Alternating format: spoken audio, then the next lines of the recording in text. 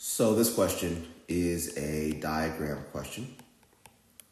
Any question that provides some visual input, I'm going to call a diagram question. We have a scatter plot here, an x-axis and a y-axis. Looks like we have a line of best fit that's here. And of course, we have these data points that are a little below or above this line of best fit. So the question says, uh, in the given scatter plot, a line of best fit for the data is shown.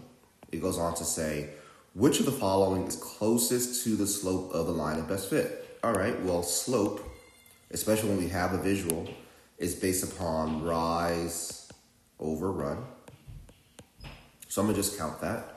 Um, I'm gonna choose some points that look like they are intersecting or aligning well with uh, with the grid lines, with the intersection points of a grid line.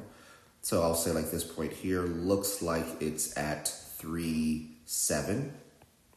And uh, let's see, what's another good one?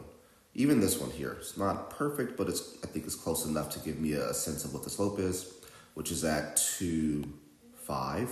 So we have a rise of two, a run of one, right? So our rise is two, the run is one. So the slope is closest to two, and therefore our answer is choice D.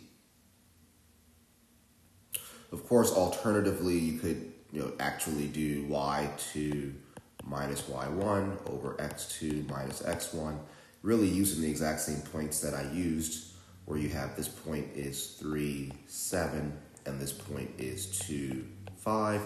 Or you could use any other point, right? Like this is also fairly close of a point. This is fairly close of a point there as well. It's just hard to use points like this where you're not certain where it is, right? So um, use the intersect, use the grid lines to your benefit. And of course, it says closest, so be okay with estimating and rounding those values. I know this is probably not exactly 3.7. This is not exactly 2.5, but it's good enough to get a sense of what the answer will be.